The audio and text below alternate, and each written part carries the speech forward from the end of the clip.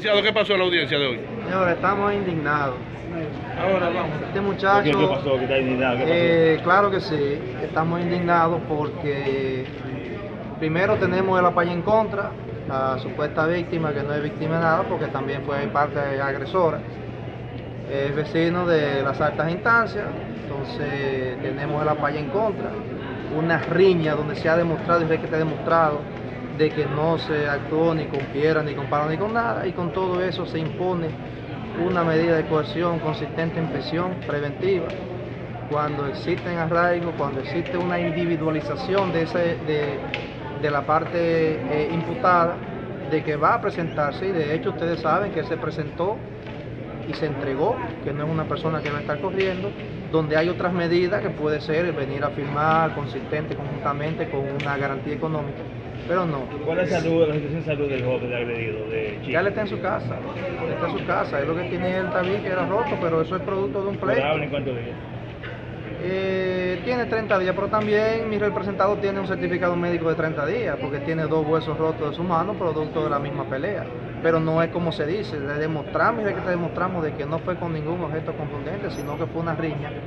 Y aquí las riñas simplemente se imponen garantía económica. Pero como le digo, por la parte querellante, ser vecino, amigo de las altas instancias, ¿De se impuso. ¿A quién se refiere usted? ¿A quién? Bueno, a las altas instancias, vamos a Por dejarlo ahí. ejemplo, ¿a quién? Bueno, Aquí en Texas son mucha bueno, gente. bueno. ¿Usted va a apelar? ¿Usted va a apelar? ¿Va a apelar esta medida? No, lo que hay que ser un poco prudente. Va a apelar. va a saber cuando escuche eso. ¿Va a apelar esta medida? Claro que sí, vamos a apelar a ver si la mano protectora de esta persona no llega hacia la corte. ¿Por ustedes con la medida? Eh, un segundito, eh, su papá, Su papá y su tío van a dar su Está bien, está Eh, está bien. Pascual Francisco. ¿Está conforme con lo que Soy el padre del damnificado José Polanco. Yo lo siento por la, la alias Chiqui.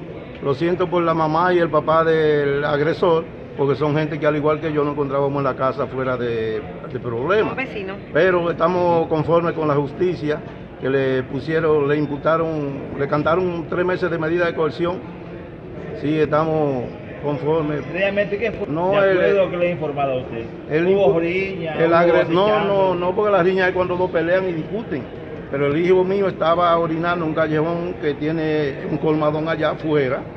Y ahí es que van a orinar todos los jóvenes que están por ahí. Entonces él la- lo estaba celando con la mujer. Y fue y le tocó las espaldas por detrás. Y, y se voltea pensando que es un amigo a modo de saludo. Y lo que recibe es un trompón que le llevó el conocimiento instantáneamente. ¿Cuál es la Cuando- condición de su hijo? la condición está un poco estable, no todavía no está de alta, ¿Ya está en su casa? pero está, no señor, está en la clínica Bonilla. está en su casa, dice- No, en Santiago, en la clínica Bonilla. Fue operado ayer. Posiblemente hoy o mañana lo den de alta. Se supone que con una piedra porque el hijo mío es un hombre fuerte, un muchacho Pero fuerte. usted dijo que fue con la mano que le dio. Eh, No, fue con una piedra que le dio. El primer golpe se lo dio con una piedra. Y luego siguió, siguió gastando de él en el suelo. Eso es, eso es un intento de crimen. ¿Usted me entiende? Eso es homicidio. Tiene la mano rota, Cristian. Eh, de, de tanto darle, se le zafó un dedo. Oiga eso, cuando él mismo lo dice. Se le zafaron los dedos de tanto darle golpe en el suelo. Y si el dueño del negocio no sale y se lo quita de encima, lo hubiera matado y no se sabía quién lo mató, porque era en un callejón oscuro. Fue- eso se llama acechanza. Bueno, mi nombre es Darío Oscar Polanco, soy tío de Chiqui. Eh, digo soy tío en el sentido de que soy hermano de su mamá, pero es prácticamente un hijo mío, porque se crió conmigo. Yo soy el director del grupo de Atave Grayumbo, que ahí fue que lo formamos. Lo hicimos músicos, se hizo un Su profesional. opinión lo que ha pasado. Sí.